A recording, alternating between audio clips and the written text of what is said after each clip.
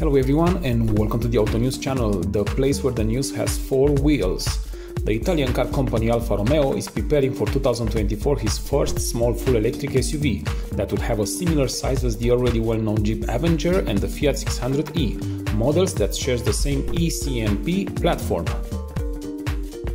The Alfa Romeo Brennero, because that is the name of the new model, will have a full electric 160 horsepower powertrain and a 54 kWh battery inherited from the Fiat 600e, powertrain that will offer a maximum full electric range of about 400 kilometers.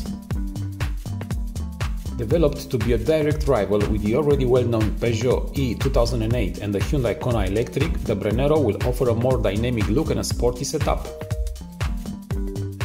Totally new interior design will transmit as well a dynamic feeling which together with a digital experience will make that every ride with this small city breaker to be fun and smooth at the same time.